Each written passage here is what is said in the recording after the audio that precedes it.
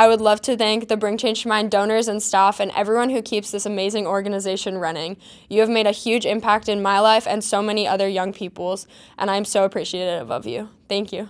I just want to say thank you to Bring Change to Mind for opening up a new door for my school, for myself, open up a leadership role, um, create new change around campus that will hopefully last for a long time.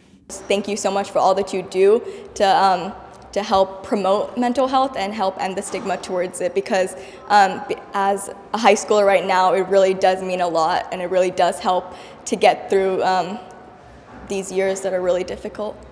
Thank you, Bring Change to Mind. This is a the summit is such an important opportunity for students to come together to learn and grow with each other. Thank you for making this happen. It's continued to grow over the years, and it's such a wonderful event. Bring Change to Mind is an incredible organization that puts youth at the forefront of mental of ending mental health stigma, and I'm still honored to be a part of this amazing effort and movement to end mental health stigma. I'm thrilled for all the work that Bring Change to Mind is doing to get high school students talking to each other about how to take care of themselves and live healthy, happy, fulfilling lives.